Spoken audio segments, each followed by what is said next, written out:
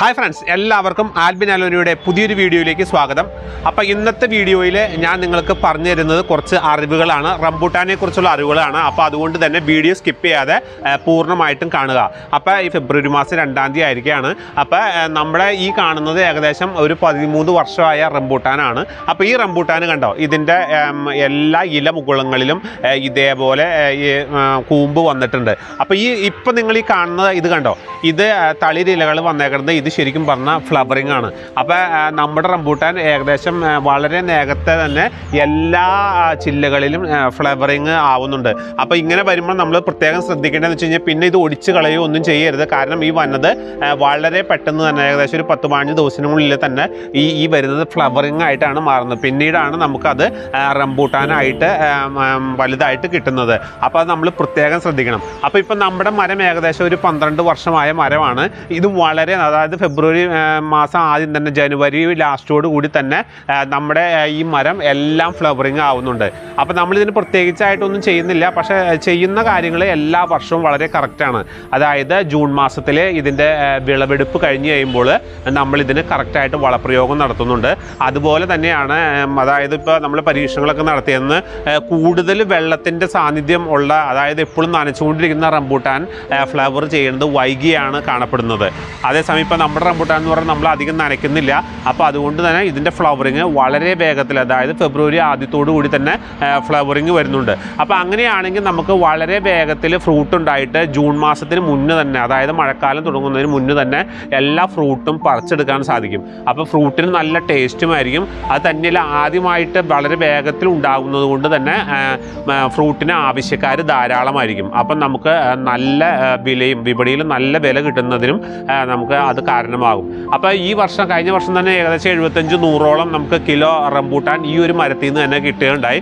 അപ്പോൾ നമ്മളൊരു ഇരുന്നൂറ്റമ്പത് രൂപ വെച്ച് കൂട്ടുകയാണെങ്കിൽ തന്നെ ഏകദേശം ഇരുപത്തിയായി ഇരുപത്തഞ്ചായിരം രൂപയോളം ഈ ഒരു മരത്തിൽ നിന്ന് തന്നെ നമുക്ക് ഒരു വർഷം വരുമാനം ലഭിക്കുന്നുണ്ട്.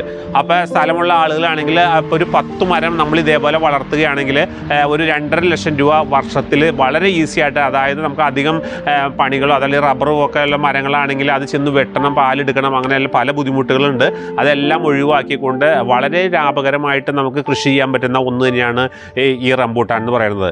കാരണം ഇത് നമ്മൾ ഒരു പ്രാവശ്യം വെച്ച് കഴിഞ്ഞാൽ പിന്നീട് നമുക്ക് വളമിട്ട് കൊടുത്താൽ മതി വേറെ ഒന്നും ചെയ്യാനില്ല. പിന്നെ എല്ലാ വർഷവും ഇത് ഫ്രൂട്ട് ഉണ്ടായി കഴിഞ്ഞിട്ട് കറക്റ്റായിട്ട് ഇതിന്റെ കൊമ്പ് കോതിൽ അതായത് നമ്മൾ ആ ഉണ്ടാകുന്ന ചില്ലകൾ ഒടിച്ചു കളഞ്ഞ് പുതിയ ശിഖരങ്ങൾ സൃഷ്ടിച്ചെടുക്കണം. അങ്ങനെ പുതിയ ശിഖരങ്ങൾ ഉണ്ടായെങ്കിൽ മാത്രമാണ് അടുത്ത വർഷം ഈ വർഷം ഉണ്ടായതിന്റെ ഇരട്ടിയോളം റംബൂട്ടൻ നമുക്ക് ഉണ്ടാക്കാനായിട്ട് സാധിക്കുകയുള്ളൂ.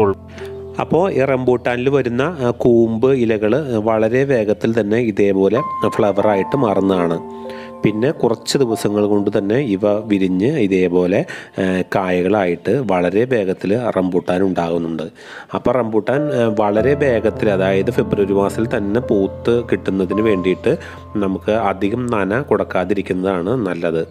അപ്പോൾ അങ്ങനെ കൊടുക്കാതിരിക്കുന്ന റംബൂട്ടാന്റെ മരങ്ങളിൽ വളരെ വേഗത്തിൽ ഫ്രൂട്ട് ഉണ്ടാകുന്നുണ്ട് അത് തന്നെയല്ല നമുക്ക് ജൂൺ മാസത്തിന് മുന്നേ അത് പഴുത്ത് കിട്ടുന്നതുകൊണ്ട് നല്ല വിലയും ഫ്രൂട്ടിന് നല്ല മധുരവും ലഭിക്കും.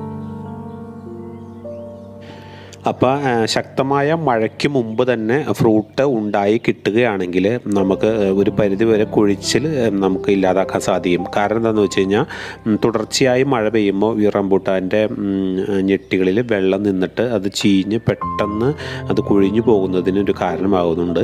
അപ്പോൾ ഫ്രൂട്ട് നേരത്തെ ഉണ്ടാവുകയാണെങ്കിൽ നമുക്ക് ആ കുഴിച്ചിൽ ഒരു പരിധി വരെ ഒഴിവാക്കാം.